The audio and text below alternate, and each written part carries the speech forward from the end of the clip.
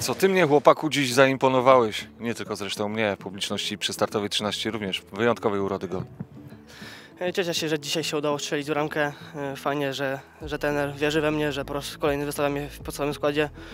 No i fajnie też, że, że, że podtrzymujemy swoją serię meczu bez, bez, bez porażki. A ta, ta bramka to tylko podsumowanie dobrego okresu z mojej strony i jak myślę za całej drużyny.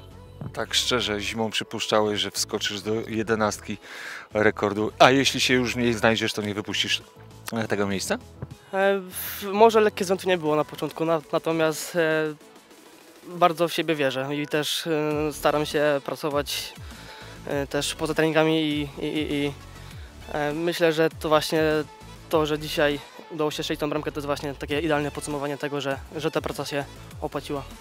Przyznajmy szczerze, sympatycy biało-zielonych nie do końca znają Twoją postać, nie, niewiele o Tobie wiedzą. Kiedy zaczynałeś grę w piłkę, gdzie zaczynałeś kopać? E, No to początki zaczynałem w, w, swojej, swojej, w swojej miejscowości e, w Zarzeczu, później chwilkę spędziłem e, czas w Przeboju Walbrom. E, Tam na- natomiast to nie był długi, długi czas, ponieważ tam byłem około miesiąca.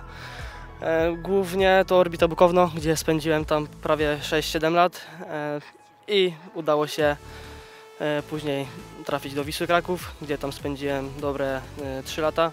No i teraz tutaj zawitałem w startowej od dwóch lat. Zatem życzymy dobrej, równej dyspozycji i nadal miejsca w wyjściowej 11 rekordzistów. Dziękuję bardzo. Mateusz, zanim o osiągach bramkowych, o trzech punktach w starciu z MKS-em Kluczbork, odnotujmy jeden bardzo istotny fakt. Drugi z rzędu mecz na zero z tyłu. No bardzo to cieszy, szczególnie, że rozmawialiśmy w okresie przygotowawczym, gdzie w każdym meczu traciliśmy bramkę. No udało się ten aspekt naprawić nareszcie i mam nadzieję, że tak będziemy to trzymać tą serię jak najdłużej. No i w dzisiejszym spotkaniu pomógł również bramkarz.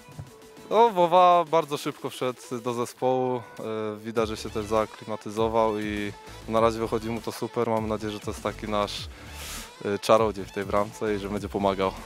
Takiej właśnie gry, jaką przeciwstawili Wam gracze z Kluczborka, spodziewaliście się po tej konfrontacji?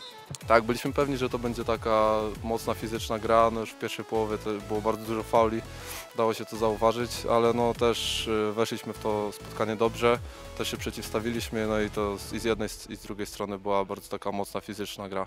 Jak na te warunki boiskowe, które Wam e, e, przeciwstawili gracze z Kluczborka, nie wydaje Ci się, że są cokolwiek za nisko w tabeli?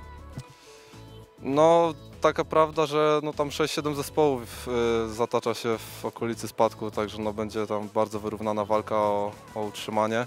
No myślę, że jeszcze kilka zespołów w tamtej stawce się znajdzie, które no zasługuje, żeby, żeby być trochę wyżej. A no niestety muszą punktować, myśmy dzisiaj tych punktów nie oddali. Odmiany teraz, dokładnie w najbliższą niedzielę, czeka Was starcie z wyżej notowanym rywalem. Czego spodziewasz się po starciu w Legnicy z rezerwami Miedzi? No już y, tak jak na jesień było to bardzo trudne spotkanie. Myślę, że podobnego poziomu możemy się spodziewać, szczególnie, że tam y, sporo chłopaków schodzi z pierwszej drużyny, ale mam nadzieję, że ta seria będzie podtrzymana przez nas. No i jest za co się rewanżować. Mam na myśli rezultat jesiennej potyczki. Zdecydowanie jest to też takie, co nas, mam nadzieję, zmotywuje dodatkowo i wejdziemy w ten mecz bardzo dobrze. Dziękuję i gratuluję trzech punktów. Dziękuję również.